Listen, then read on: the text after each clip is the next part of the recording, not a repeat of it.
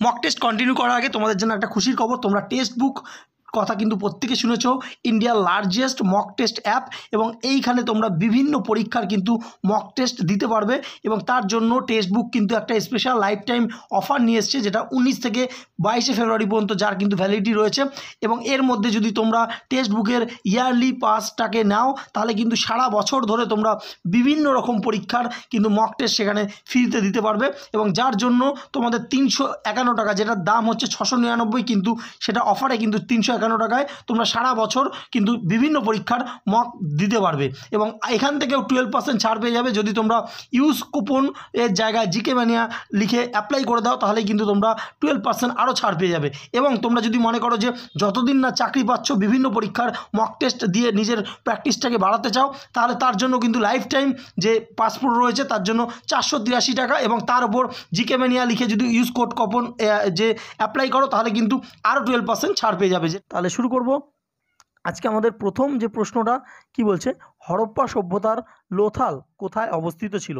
চারটে অপশান রয়েছে, তোমরা দেখতে পাচ্ছ। গুজরাট, পাঞ্জাব, রাজস্থান এবং সিন্ধ। বহু পরীক্ষায় এই প্রশ্নটা আসে, উত্তরটা কী হবে? উত্তরটা হবে অপশান এ গুজরাট। গুজরাটে কিন্তু এই যে লোথাল বন্দরটা রয়েছে, তো এখান থেকে আমরা কিছু ইনফরমেশান দেখে নিই। দেখো, এটা উনিশশো সালে এস আর রাও এই অঞ্চলের কিন্তু প্রাচীন বসতির ধ্বংসাবশেষ আবিষ্কার করে। তো এটা ডাব্লিউবিসিএসের দিক থেকে কিন্তু এই প্রশ্নটা খুবই গুরুত্বপূর্ণ হয়ে যাচ্ছে যে, এই লোথাল যে সাইটটা এটা কে ধ্বংসাবশেষ আবিষ্কার করেছে? সেটা হচ্ছে উনিশশো সালে এস আর রাও, ঠিক আছে? এবং বিশ্বের প্রথম কৃত্রিম বন্দর ও পোতাশ্রয় হচ্ছে লোথালে অবস্থিত। তো প্রশ্নটা ঘুরিয়ে দিতে পারে যে বিশ্বের প্রথম কৃত্রিম বন্দর কোনটা? সেটা হচ্ছে লোথাল। আর তারপর কি দিচ্ছে দেখো যে, চালের ভুসি, তুলাদণ্ড, পার্শ্ব উপসাগরের শিলমোহর দিক অবস্থান টেরাকোটা ঘোড়াচিত্র আধুনিক কম্পাসের মতো একটি দিক নির্ণায়ক যন্ত্র, ঠিক আছে? তো এখানে কি কি আবিষ্কৃত হয়েছে এগুলো কিন্তু এখানে দেওয়া হয়েছে। আচ্ছা নেক্সট দু নম্বর যে প্রশ্নটা খুবই গুরুত্বপূর্ণ দেখতে পাচ্ছ আনকমন কিন্তু একটু আছে, যে পল্লব চোল যুগের স্থাপত্য যে শিল্প সেটা বা স্থাপত্যটা সেটা কি নামে পরিচিত ছিল? Option A Pallava option B Chola option C Nagar, না অপশান ডি দ্রাবিড়? উত্তর কী হবে? উত্তর হবে অপশান ডি দ্রাবিড়। দেখো, এখান থেকে একটু ছোট্ট ইনফরমেশান আমরা জেনে নিই। দেখো, দক্ষিণ ভারতের যে পল্লবদের সাফল্য আমরা জানি সেটা কিন্তু শুধু রাজনীতিতে সীমাবদ্ধ ছিল না। শিল্প সাহিত্যে পৃষ্ঠপোষক হিসাবেও তারা তাদের উল্লেখযোগ্য অবদান রেখে গেছেন। দক্ষিণ ভারতের স্থাপত্য ও ভাস্কর্যের ইতিহাস পল্লব আমলেই মন্দিরগুলো থেকে শুরু হয়।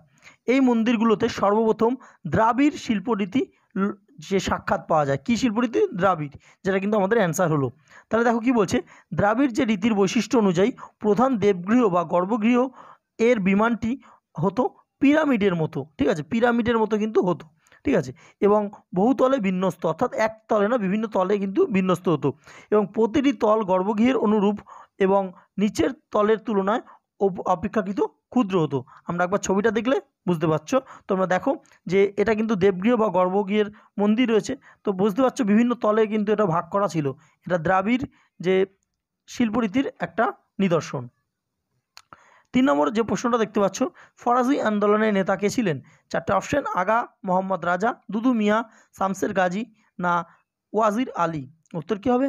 উত্তর হবে অপশন বি, দুদু মিয়া। দুদু মিয়া ছিলেন ফরাজি যে আন্দোলনের নেতা। এখান থেকে একটু ইনফরমেশান জেনে নেব। দেখো আঠেরোশো চল্লিশ খ্রিস্টাব্দে পিতা হাজি শরিয়ত উল্লাহ ইন্তকালের পর ফরাজি আন্দোলনের নেতৃত্ব গ্রহণ করেছিলেন দুদু মিয়া।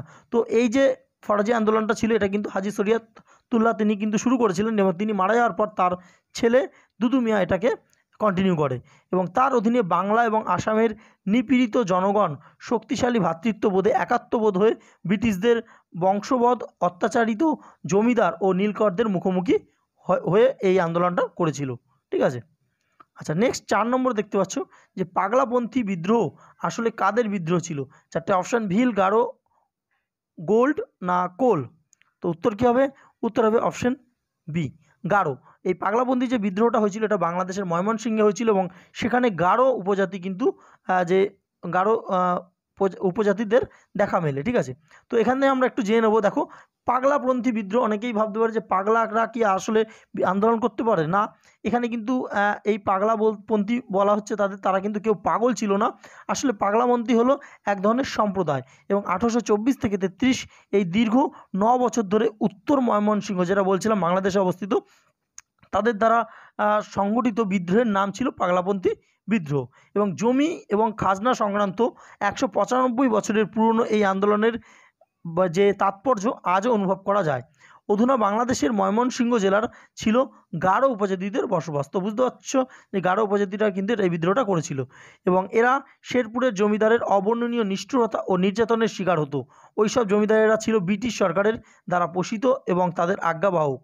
আমরা জানি যে সতেরোশো তিরানব্বই সালে যে চিরস্থায়ী বন্দোবস্ত হয়েছিল, তার ফলে কিন্তু তারা অর্থাৎ ব্রিটিশ সরকার পরোক্ষভাবে কিন্তু জমিদারদের দিয়ে যে কৃষকদের অত্যাচার করছিল, তো তার বিরুদ্ধে কিন্তু এই আন্দোলন গড়ে উঠেছিল। নেক্সট দেখতে পাচ্ছ, বন্দে মাতরমের স্রষ্টা কি? চারটে অপশান তোমরা পড়ে নিতে পারছ, তো উত্তরটা কি হবে? উত্তরটা হবে অপশন ডি, বঙ্কিমচন্দ্র চট্টোপাধ্যায়। দেখো, বন্দে মাতরম এখানে কিন্তু যে স্রষ্টা দিয়েছে, এখান থেকে আরও অনেক রকম প্রশ্ন আসে, আমরা একটু হালকা দেখে নিই। যে বন্দে মাতরম যে গানটা, এইটা এসেছিল বঙ্কিমচন্দ্রের আনন্দমঠ উপন্যাস থেকে, এটাও কিন্তু পরীক্ষা আলাদাভাবে প্রশ্ন আসে। এবং গতবারে ওয়েস্টবেঙ্গল পুলিশে একটা প্রশ্ন দিয়েছিল যে, বঙ্কিমচন্দ্র কত সালে এই আনন্দমঠ উপন্যাসটি লিখেছে? বা যে বন্দে মাতরম যে গানটি কত সালে থেকে পাওয়া গেছে? এটা দেখতে পাচ্ছ, আঠেরোশো বিরাশি সালে কিন্তু রচিত, রচনা করেছিলেন তিনি আনন্দমঠ উপন্যাস, ঠিক আছে? এবং এটা কিন্তু দেখতে পাচ্ছ, এই ভারত মাতা বন্দগীতি এবং এটি বঙ্গদেশের জাতীয় মূর্তিকল্প। ঋষি অরবিন্দ কিন্তু বন্দে মাতরম যে গানটাকে, এটা কিন্তু ন্যাশনাল অ্যান্থেম অফ বেঙ্গল বলে তিনি প্রথম উল্লেখ করেছিলেন। এবং পরবর্তীকালে আমরা জানি যে ভারতবর্ষের জাতীয় সং বা জাতীয় গান যেটা আমরা বলি, সেটা কিন্তু উনিশশো পঞ্চাশ সালে চব্বিশে জানুয়ারি ভারতবর্ষের জাতীয় গান হিসেবে বন্দে মাতরমটাকে স্বীকৃত দেওয়া হয়। এখান থেকে আরও একটা প্রশ্ন আসে, যেটা হচ্ছে এই বন্দে মাতরম গানটা ইংরেজি অনুবাদ করেছিলেন কে? সেটা হচ্ছে ঋষি অরবিন্দ। এবং এই বন্দে মাতরম গান প্রথম কবে গাওয়া হয়েছিল? প্রথম গাওয়া হয়েছিল আঠারোশো ছিয়ানব্বই সালে কংগ্রেসের কলকাতা অধিবেশনে গাওয়া হয়েছিল এবং এই অধিবেশনের যে সভাপতি কে ছিল, এটাও পরীক্ষা আসে, সেটা হচ্ছে রহিমতুল্লাহ সাহানি। তাহলে দেখতে পারলে কতগুলো প্রশ্ন কিন্তু উত্তর আমরা এখান থেকে জেনে নিলাম। তো আশা করি প্রত্যেকটা যেগুলো জানো না তোমরা লিখে নিচ্ছ।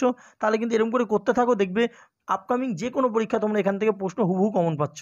দেখো নেক্সট বলছে, ভারতের শিল্প বা ভারতের শিক্ষানীতিতে ফিল্ট্রেশন থিওরির প্রবক্তা কে ছিলেন? Charles Wood Macaulay, J S Mill না কর্নওয়ালিস? উত্তর কী হবে? উত্তর হবে মেকলে। দেখো যে ফিল্ট্রেশন থিওরি এটা কে দিয়েছিল? এটা হচ্ছে লর্ড উইলিয়াম বেন্টিংয়ের আইন সচিব বা শিক্ষা সচিব ছিলেন মেকলে। তিনি তার মিনিটসে কিন্তু বলেছিলেন যে, ভারতের যদি উচ্চ এবং মধ্যবিত্তদের ইংরেজি শিক্ষার প্রসার করানো হয়, তাহলে মধ্যবিত্তদের মাধ্যমে বা কর্মের মাধ্যমে সাধারণ মানুষের মধ্যে সেটা ছড়িয়ে পড়বে। এবং মেকলের পরিকল্পিত এই নীতি কিন্তু চুয়ে পড়া নীতি বা ক্রম নিম্ন পরিশ্রুত বা ডাউনওয়ার্ড ফিল্ট্রেশন থিওরি নামে পরিচিত। অর্থাৎ তিনি বলতে চেয়েছিলেন তখন ইংরেজি যে শিক্ষাটা বা ইংরেজি ভাষাটা চারদিকে ছড়িয়ে দেওয়ার চেষ্টা করেছিলেন। তো তিনি বলেছিলেন যে সমাজে আমরা জানি যে, তখন কিন্তু উচ্চ বিত্ত, মধ্যবিত্ত এবং নিম্নবিত্ত এই তিনটে সব মানে ভাগ ছিল। তা এটা এখনও কিন্তু রয়েছে এই ভাগটা। মানে অপরিকল্পিতভাবে বা এটা সেইভাবে এখন বলা হয় না। যাই হোক তো, সেইখানে তিনি বলেছিলেন যে, যদি এই উচ্চ এবং মধ্যবিত্তদের ইংরেজি শিক্ষাটা প্রসার ঘটিয়ে দেওয়া যায়, তাহলে তাদের মাধ্যমে কিন্তু এই নিম্নবিত্ত বা সাধারণ যে মানুষ তাদের কাছে কিন্তু এই যে ইংরেজি শিক্ষাটা ছড়িয়ে পড়বে। অর্থাৎ চুয়ে পড়ছে। ইংরেজি শিক্ষাটা যেন একটার থেকে একটা চুয়ে পড়ছে। এই যে নীতিটাকে চুয়ে পড়া নীতি বলে তিনি উল্লেখ করেছেন। নেক্সট সাত নম্বর প্রশ্ন দেখতে পাচ্ছ। ভারতের কোন গভর্নর জেনারেলের আসল নাম জেমস অ্যান্ড্রু র্যামসে খুবই আনকমন একটা প্রশ্ন এবং যে এটা কিন্তু ডাব্লিউবিসিএস টাইপের পরীক্ষায় প্রশ্ন আসতে পারে। তো উত্তরটা কী হবে? চারটে অপশান আছে, উত্তর হবে লর্ড ডালহৌসি অনেকেই কিন্তু এই প্রশ্নের উত্তর জানো না। তোমরা আশা করি জেনে নিলে এবং না জানলে অবশ্যই লিখে রাখতে পারো। জেমস অ্যান্ড্রু র্যামসে নেক্সট আট নম্বর প্রশ্ন দেখতে পাচ্ছ যে ভারতের প্রথম রেলপাত কা, পাতা হয় কার আমলে? তো উত্তরটা এটা আমরা সকলেই জানি। উত্তর কী হবে? অপশন এ, লর্ড ডালহৌসি আঠারোশো তেপ্পান্ন সালে প্রথম কিন্তু রেল ব্যবস্থা চালু হয়েছিল, আমরা জানি মুম্বাই থেকে থানেতে আচ্ছা নেক্সট পরবর্তী দেখতে পাচ্ছ কি? ন নম্বর প্রশ্ন, যে নিচের রাজ্যগুলির মধ্যে এলাকার নিরিখে সবথেকে ছোট কোনটি? উত্তরপ্রদেশ, মধ্যপ্রদেশ, রাজস্থান না উত্তরাখণ্ড? উত্তর কী হবে? উত্তর হবে উত্তরাখণ্ড। কারণ আমরা জানি সবথেকে বড় রাজ্য কি? সবথেকে বড় রাজ্য হচ্ছে রাজস্থান। তো আমরা নিরিখটা একবার দেখে নিই যে আয়তনে আয়তনে সবথেকে বড় রাজ্য দেখতে পাচ্ছ রাজস্থান। সেটা দশ দশমিক চার এক শতাংশ নিয়ে রয়েছে। তারপর সেকেন্ডে রয়েছে মধ্যপ্রদেশ এবং তৃতীয় নম্বরে কি রয়েছে? মহারাষ্ট্র। তারপর উত্তরপ্রদেশ, গুজরাট, কর্ণাটক, অন্ধ্রপ্রদেশ, উড়িষ্যা, ছত্তিশগড়, তামিলনাড়ু, তেলেঙ্গানা, বিহার এবং ওয়েস্ট বেঙ্গল। ওয়েস্ট বেঙ্গল কিন্তু তেরো নম্বর যে পজিশনে আছে। ঠিক আছে? আচ্ছা নেক্সট দশ নম্বর প্রশ্ন দেখে নেব যে কোন নদীর ধারে বদ্রীনাথ মন্দিরটি অবস্থিত? তো চারটে অপশান দেখতে পাচ্ছ তোমরা অলকানন্দা, ভাগীরথী, মন্দাকিনী এবং গঙ্গা। তো উত্তর কী হবে? উত্তর হবে অপশান এ অলকানন্দা। এর আগের ভিডিওতে আমরা বিভিন্ন প্রয়াগে করার সময় তোমাদের বলেছিলাম, যারা সেটা ভালো করে করেছ বা পড়েছো, তোমরা উত্তরটা আশা করি দিতে পেরেছ এবং যারা জানো না, একবার দেখে নাও যে এই বদ্রীনাথ মন্দিরটা কোথায় অবস্থিত। দেখো, এই হচ্ছে বদ্রীনাথ মন্দির এবং এই যে নদীটা গেছে, সেটা হচ্ছে অলকানন্দা। তো বদ্রীনাথ কিন্তু অলকানন্দার তীরে অবস্থিত। তা যদি ঘুরিয়ে দেয় যে কেদারনাথ কোন নদীর তীরে অবস্থিত, সেটা হচ্ছে মন্দাকিনী। কী নাম? মন্দাকিনী। কেদারনাথ হচ্ছে মন্দাকিনী। আর গঙ্গোত্রী যে রয়েছে সেটা হচ্ছে ভাগীরথীর নদীতে। ঠিক আছে? আর যমুনাত্রী হচ্ছে যমুনাতে। তো এইগুলো কিন্তু তোমরা মনে রেখো। ঠিক আছে? আচ্ছা নেক্সট এগারো নম্বর, তাওয়া। এই তাওয়া কোন নদী? শাখা নদী। তাপ্তি, নর্মদা, পার্বতী না মহানদী? এনটিপিসি বা রেলের গ্রুপ ডিতে এরম টাইপের প্রশ্ন খুব দেখা যায়। তো উত্তরটা জেনে রাখো। উত্তরটা হচ্ছে অপশন বি নর্মদা। নর্মদা নদীর একটি শাখা নদী হচ্ছে তাওয়া। এটি মধ্যপ্রদেশের ওপর থেকে বয়ে গেছে, ঠিক আছে? নেক্সট বারো নম্বর প্রশ্ন, ভারতের কোন রাজ্যে তিন দিকে আন্তর্জাতিক সীমানা রয়েছে? এখানে চারটে অপশান অনুযায়ী হবে, অসম, নাগাল্যান্ড, ত্রিপুরা না কেরালা। উত্তর কী হবে? উত্তর হবে ত্রিপুরা। তো ম্যাপটা দেখলে তোমরা বুঝতে পারছ, এই জায়গাটা রয়েছে ত্রিপুরা ত্রিপুরা, ঠিক আছে? ত্রিপুরার দেখতে পাচ্ছ, ত্রিপুরার এক পাশ বাদে বাকি তিন দিক কিন্তু বাংলাদেশের যে আন্তর্জাতিক সীমানা রয়েছে, ঠিক আছে? আচ্ছা নেক্সট তেরো নম্বর প্রশ্ন, যে সোনালী ধানে কোন ভিটামিন প্রচুর পরিমাণে থাকে। ভিটামিন এ বি সি না কে উত্তর কী হবে? উত্তর হবে অপশন এ অর্থাৎ ভিটামিন এ থাকে। প্রচুর পরিমাণে সোনালী ধানে বা গোল্ডেন রাইস যেটা, এশীয় মহাদেশের এটা একটা ধানের জাত। তো এখানে কিন্তু যে ভিটামিন এটা প্রচুর পরিমাণে পাওয়া যায়, ঠিক আছে? এটা অ্যাকচুয়ালি এটা সেইভাবেই উৎপাদনটা করা হয়। কারণ এশিয়া মহাদেশে দেখা গেছে প্রচুর যে শিশু কিন্তু ভিটামিন এর অভাবে মারা গিয়ে, মারা গিয়েছে, ঠিক আছে? তো তার জন্য এবং এশিয়া মহাদেশের ম্যাক্সিমামই ভাত, তাদের প্রধান খাদ্যটা ভাত। তো তার জন্য ভাতের মাধ্যমে যদি কোনো একটা ভিটামিন এ শরীরে পৌঁছে দেওয়া যায়, তার জন্য কিন্তু এই যে জাতীয় ধানটা তৈরি করা, ঠিক আছে? এবং এর যে এমনি ভাতের রং কিন্তু সাদা, এর- এর একটু হালকা সোনালি টাইপের হয়। আচ্ছা নেক্সট দেখতে পাচ্ছ নিচের কোনটি রাসায়নিক পরিবর্তন? চারটে অপশান তোমরা দেখতে পাচ্ছ, সালফারের গলন জলের স্ফুটন, সম্পৃক্ত দ্রবণ থেকে চিনির ক্লাস প্রস্তুতকরণ না সালফারের জ্বলন। উত্তর কী হবে? উত্তর হবে অপশান ডি সালফারের জ্বলন। সালফার জ্বলে গেলে কিন্তু আর পাওয়া যায় না, এটা রাসায়নিক পরিবর্তন। আচ্ছা পনেরো নম্বর প্রশ্ন, যে ক্যান্সারের কারণগুলি, যে জিনগুলি সক্রিয়তা? চারটে অপশান তোমরা দেখতে পাচ্ছ। তো উত্তরটা কী হবে? উত্তরটা কী হবে? Option B oncogene. ঠিক আছে, এটা কিন্তু বহু পরীক্ষা প্রশ্নটা আসে। আচ্ছা ষোলো নম্বর প্রশ্ন, আনকমন প্রশ্ন, যতীন্দ্রনাথ বন্দ্যোপাধ্যায় রামকৃষ্ণ মিশনে যোগদানের পর কি নাম হয়? শ্রদ্ধানন্দ স্বামী, নিরালম্ব স্বামী, প্রণবানন্দ স্বামী না ব্রহ্মস্বরূপ স্বামী? উত্তর হবে অপশন বি, নিরালম্ব স্বামী। নেক্সট, সতেরো নম্বর প্রশ্ন কোন বিদেশি অধিবাসীরা ভারতের দিনামার নামে পরিচিত ছিল? চারটে অপশন ওলেন্দাস ডেনমার্ক, ইংরেজ না ফরাসি? উত্তর কী হবে? উত্তর হবে অপশন বি ডেনমার্ক। ডেনমার্কের অধিবাসীরা কিন্তু দিনামার নামে পরিচিত ছিল। নেক্সট আঠারো নম্বর প্রশ্ন, যে চৈতন্য ভাগবত কে রচনা করেছেন? চারটে অপশান কৃষ্ণ, কৃষ্ণদাস কবিরাজ, বৃন্দাবন দাস, ত্রিলোচন দাস না শ্রী চৈতন্য? উত্তর হবে অপশন বি বৃন্দাবন দাস। এই শ্রী চৈতন্য ভাগবত এই গ্রন্থটি লিখেছিলেন। এটা চৈতন্য মহাপ্রভুকে নিয়ে কিন্তু রচনা করা, ঠিক আছে? আচ্ছা। আচ্ছা পরবর্তী উনিশ নম্বর প্রশ্ন দেখতে পাচ্ছ যে, জাতীয় কংগ্রেসের চরমপন্থা কত সালে দেখা যায়? উনিশশো পাঁচ, সাত, নয় না এগারো? উত্তর কী হবে? উত্তর হবে অপশন এ উনিশশো পাঁচ সালে। আচ্ছা কুড়ি নম্বর প্রশ্ন, সংবিধানের মূল কাঠামো সংক্রান্ত মতবাদ যে সব- সুপ্রিম কোর্ট কোন মামলায় উল্লেখ করে? চারটে অপশন কেশবানন্দ ভারতী, গোলকনাথ, মিনার্ভা মামলা, গোপালন মামলা। উত্তর কী হবে? উত্তর হবে কেশবানন্দ ভারতী মামলা। এটা উনিশশো তিয়াত্তর যে সালে হয়েছিল। কেরাল সরকার, বনাম কেশবানন্দ ভারতী। তো এই মামলাতে কিন্তু সুপ্রিম কোর্টের যে মূল কাঠামোটা সংক্রান্ত এই মামলাটা এবং এই মামলা নিয়ে বহু প্রশ্ন আসে। নমস্কার বন্ধুরা, তোমাদের প্রিয় ইউটিউব চ্যানেল জিকে ম্যানাতে তোমাদের স্বাগত। বন্ধুরা, আজকে আমরা তোমাদের সামনে GK cum mock test series number পঁয়ষট্টি। এর আগে চৌষট্টিটা মক টেস্ট হয়ে গেছে, তার লিঙ্ক ডেসক্রিপশন বক্সে রয়েছে। যেগুলো আপকামিং ওয়েস্ট বেঙ্গল পুলিশের mains Kolkata police West Bengal SSC group CD SSC MTS রেলের group D NTPC mains WBCS এবং ওয়েস্ট বেঙ্গল পিএসসি যে কোনো পরীক্ষার জন্য খুবই গুরুত্বপূর্ণ। এইগুলো যারা দেখছ, তারা কিন্তু ঠিকঠাকভাবে বুঝতে পারছ এবং যারা নতুন দেখছ ভিডিওটা, তোমরা দেখতে থাকো। এখান থেকে কিন্তু আপকামিং যে কোনো পরীক্ষা তোমরা প্রশ্ন কমন পাবে। দেখো, প্রথম প্রশ্ন কি বলছে? যে ইংরেজরা ভারতের কোথায় তাদের প্রথম ফ্যাক্টরি বা কুঠির নির্মাণ করেছিল? চারটে অপশান তোমরা দেখতে পাচ্ছ, বোম্বে, সুরাট, সুতানুটি, মাদ্রাজ। উত্তর কী হবে? উত্তর হবে অপশন বি সুরাটে। সুরাটে ইংরেজরা তাদের প্রথম ফ্যাক্টরি তৈরি করেছিল। এখান থেকে আমরা একটু এক্সপ্লেনেশন দেখে নেব যে ভারতের ইস্ট ইন্ডিয়া কোম্পানি একত্রিশে ডিসেম্বর রানী এলিজাবেথের সনদ বলে উক্ত কোম্পানি উত্তমাশা অন্তরীপ থেকে সমগ্র পূর্বাঞ্চলে বাণিজ্যের একচেটিয়া অধিকার লাভ করে। তারা ষোলোশো আট এ, ষোলোশো আট খ্রিস্টাব্দে মুঘল সম্রাট জাহাঙ্গীরের শাসনকালে সুরাটে প্রথম বাণিজ্য কুটি অনুভূতি পান, ঠিক আছে? তো বুঝতেই পারছ কার আমলে যদি এটা পরীক্ষা দেয় যে কার আমলে? সেটা হচ্ছে জাহাঙ্গীরের আমলে, ঠিক আছে? আচ্ছা। পরবর্তী প্রশ্ন তোমরা দেখতে পাচ্ছ দু নম্বর যে রাজতরঙ্গিনী রচয়িতাকে, চারটে অপশন তোমরা দেখতে পাচ্ছ। তো উত্তরটা কী হবে? উত্তরটা হবে অপশন বি কলহনের লেখা হচ্ছে রাজতরঙ্গিনী। এখান থেকে আমরা কাশ্মীরের ইতিহাস সম্পর্কে জানতে পারি। তো পরীক্ষায় এটা প্রশ্ন দেয় যে কোন যে গ্রন্থ থেকে কাশ্মীরের ইতিহাস আমরা জানতে পারি চারটে অপশন থাকবে, তো সেক্ষেত্রে রাজতরঙ্গিনী অ্যান্সার হবে, ঠিক আছে? নেক্সট তিন নম্বর দেখতে পাচ্ছ যে কোন সালে তরাইনের প্রথম যুদ্ধ সংগঠিত হয়েছিল? এগারোশো পঁচাত্তর, এগারোশো একানব্বই, এগারোশো বিরানব্বই না বারোশো ছয়? উত্তর কী হবে? উত্তর হবে অপশন বি এগারোশো একানব্বই সালে তরাইনের প্রথম যুদ্ধ হয়েছিল। দেখো কি বলছে? যে মোহাম্মদ ঘড়ি এগারোশো একানব্বই সালে পাঞ্জাবের ভাটিন্ডা দুর্গ জয় করেছিলেন। কে? মোহাম্মদ ঘড়ি। এবং এই স্থান ছিল পৃথ্বীরাজ চৌহানের সীমান্ত এলাকা। পৃথ্বীরাজ ভাটিন্ডার দিকে অগ্রসর হয়ে তরাইনের নামক স্থানে থানেশ্বরের নিকট প্রতিপক্ষের মুখোমুখি হন। ঘুড়ি বাহিনীর অশ্বারোহীদের প্রতিপক্ষের মধ্যভাগের দিকে তীর নিক্ষেপের মাধ্যমে লড়াই শুরু হয়। পৃথ্বীরাজের বাহিনী তিন দিক থেকে পাল্টা আক্রমণ করে এবং যুদ্ধে আধিপত্য স্থাপন করে, ফলে ঘুড়িরা পিছিয়ে যায়।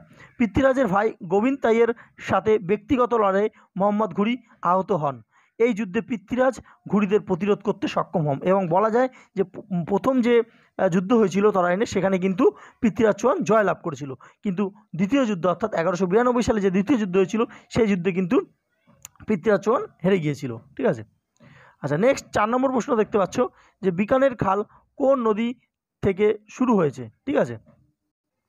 আচ্ছা চারটে অপশান তোমরা দেখতে পাচ্ছ। বঞ্চ চম্বল শতদ্রু না যমুনা। উত্তর কী হবে? উত্তর হবে অপশন সি শতদ্রু। শতদ্রু এই নদী থেকে কিন্তু বিকানের খালটা উৎপত্তি লাভ করেছে, ঠিক আছে? এবং এই যে খালটা, এটা কোথায় রয়েছে? এটা একদম পাঞ্জাবের রয়েছে পাঞ্জাবে। পাঞ্জাব এবং পাঞ্জাব যে সীমান্তটা রয়েছে, সেটা ভারত পাকিস্তানের একদম বর্ডার এলাকায় কিন্তু রয়েছে, ঠিক আছে? আচ্ছা নেক্সট পাঁচ নম্বর প্রশ্ন। গুজরাটের কোন শহরটি জাহাজ ভাঙার কারখানার জন্য বিখ্যাত? ওখা, আলাং কান্দলা না বেরাভাল খুবই আনকমন একটা প্রশ্ন এবং বহু পরীক্ষায় প্রশ্নটা আসে। বিশেষ করে রেলওয়ের এনটিপিসি এবং গ্রুপ ডির জন্য ইম্পর্ট্যান্ট উত্তরটা হবে অপশান বি আলাং এই আলাং শহরটি কিন্তু যেটা রয়েছে গুজরাটে, সেটা কিন্তু জাহাজ ভাঙার কারখানার জন্য বিখ্যাত। তোমরা দেখতে পাচ্ছ ছবিতে। এখানে একটা বন্দরও রয়েছে। আচ্ছা নেক্সট চুম্বি উপত্যকা, এটি কোন সীমান্ত রয়েছে? চারটি অপশান সিকিম, ভুটান, নেপাল, সিকিম, বিহার, নেপাল, অসম, বাংলাদেশ। উত্তর কী হবে? উত্তর হবে অপশান এ সিকিম এবং ভুটান যে সীমান্ত রয়েছে, সেখানে কিন্তু চুম্বি উপত্যকা রয়েছে। আমরা ম্যাপের মাধ্যমে একটু দেখে এটা দেখতে পাচ্ছ, সিকিম, ভারতবর্ষের সিকিম রাজ্য, আর এটা হচ্ছে ভুটান। আর ঠিক এরম জায়গায় রয়েছে কি? চুম্বি ভ্যালি, ঠিক আছে? তো কোন কোন জায়গার মাঝখানে? সেটা হচ্ছে সিকিম এবং ভুটান, ঠিক আছে? পরবর্তী দেখতে পাচ্ছ যে গাছপালা যেখান থেকে পুষ্টি সংগ্রহ করে, তা হলো কি? বহু পরীক্ষায় প্রশ্নটা আসে, তো অনেকেই কিন্তু ভুল করে। উত্তরটা হবে অপশন সি, মাটি।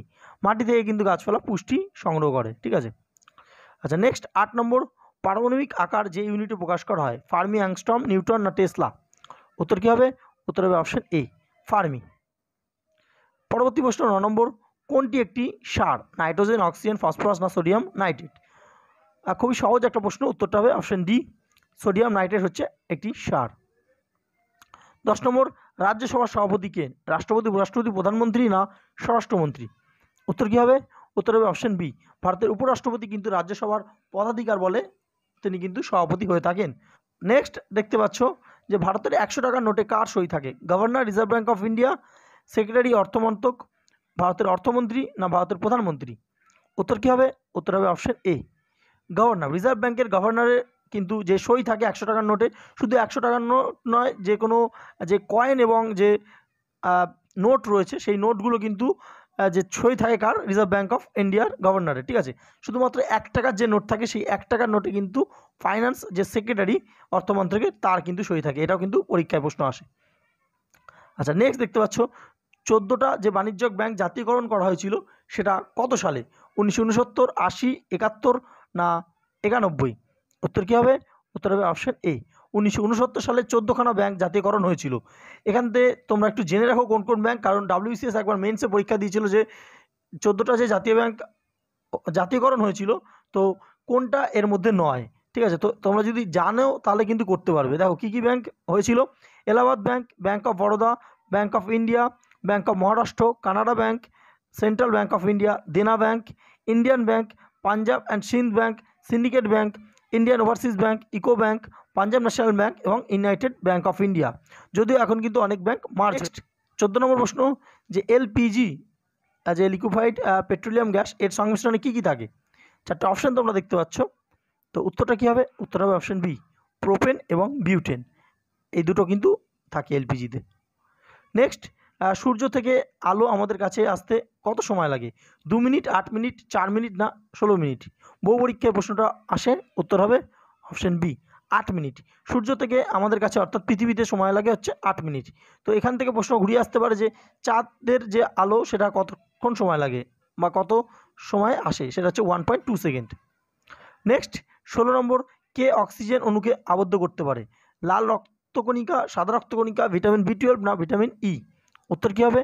উত্তর হবে অপশান এ লাল রক্তকণিকা, এটা কিন্তু অক্সিজেনকে আবদ্ধ করতে পারে। আচ্ছা সতেরো নম্বর প্রশ্ন, অলকানন্দা এবং ভাগীরথীর সঙ্গম কোথায়?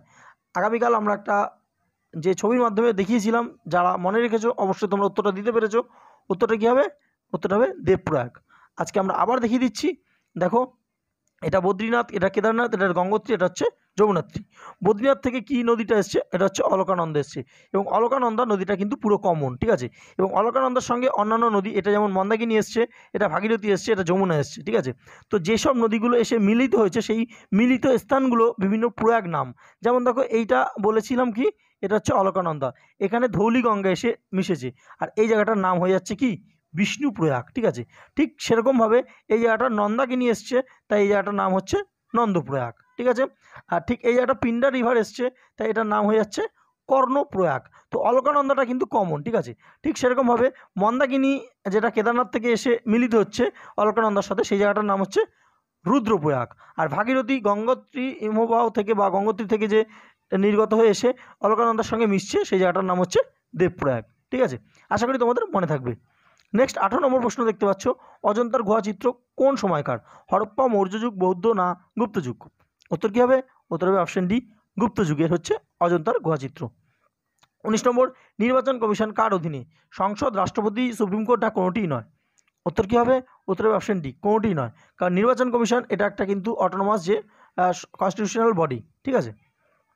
আচ্ছা নেক্সট কুড়ি নম্বর প্রশ্ন ক্যাডমিয়াম দূষণ এটা কিসের থেকে ছড়ায়? মিনামাটা ব্ল্যাকফুড এটা এটা না ডিসলেক্সিয়া উত্তর কী হবে? উত্তর হবে অপশান সি ইটা ইটাই। ক্যাডমিয়াম দূষণে কিন্তু ইটাই এটাই রোগ হয়। তো এখানে একটু দেখে নেব। দেখো ইটা ইটা হলো ক্যাডমিয়ামের সঞ্চয় জনিত এক ধরনের রোগ, জিঙ্কের উপাদান প্রক্রিয়ার ভস্মীকরণে নদীর পানিতে বা জলে ক্যাডমিয়ামের মারাত্মক দূষণ ঘটে। ক্যাডমিয়ামের দূষিত জল দ্বারা সেচের কারণে উৎপন্ন ধানের মধ্যে ক্যাডমিয়াম ধাতুর স্থানান্তর ঘটে। চালের মাধ্যমে শরীরে ক্যাডমিয়ামের সংক্রমণ হতে থাকে। দীর্ঘদিন ধরে শরীরে ক্যাডমিয়ামের সঞ্চয়জনিত কারণে ইটা ইটাই রোগ হয়। এই রোগের ফলে অস্থিতে অস্বাভাবিক যন্ত্রণা, অস্থির ক্ষয়, ভঙ্গুরতা, রেবন ক্রিয়ার প্রতিবন্ধকতা, অস্বাভাবিক ও অনিয়মিত শ্বসন এবং উচ্চ রক্তচাপ হতে পারে। ঠিক আছে? তো ক্যাডমিয়াম দূষণে এইটা এটা রোগী কী কী হয় সেটাও কিন্তু বলে দেওয়া হলো। ঠিক আছে? তোমাদের জন্য আজকের হোমওয়ার্ক প্রশ্ন এবং তোমরা কত পেলে অবশ্যই সেটা কমেন্ট সেকশানে জানিও। এবং আজকের হোমওয়ার্ক প্রশ্ন যে ব্ল্যাকফুট ডিজিজ যেটা হয়, এটা কার ফলে হয়? কোন মৌলের ফলে হয়? এবং দু নম্বর হচ্ছে ভারতের যে বর্তমান নির্বাচন কমিশনার কে আছে? সাবস্ক্রাইব করুন আমাদের চ্যানেল জিকে ম্যানিয়া। আর লেটেস্ট ভিডিও নোটিফিকেশনের জন্য বেল আইকনটি প্রেস করুন।